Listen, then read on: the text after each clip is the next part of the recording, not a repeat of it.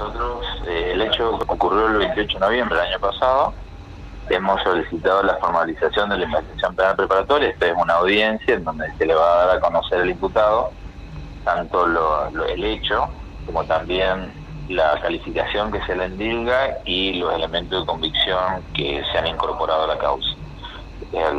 después de la investigación, que es muy técnica y que por esa razón se ha demorado, hemos determinado que el señor eh, Mauricio Ojeda es quien estaba a cargo de la inspección, él representaba Ecogas, funcionario de Ecogas, y representaba en este momento para hacer la, el contralor de la instalación del edificio y también la utilización de la misma.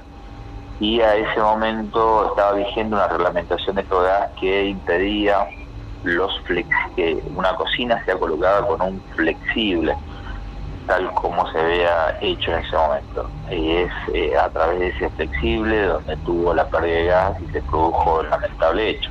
En razón de ello entendemos que hay una responsabilidad culposa, una responsabilidad penal, y por ello es que hemos solicitado audiencia de formalización.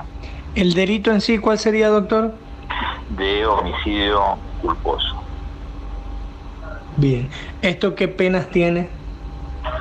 La pena es eh, ejecución condicional.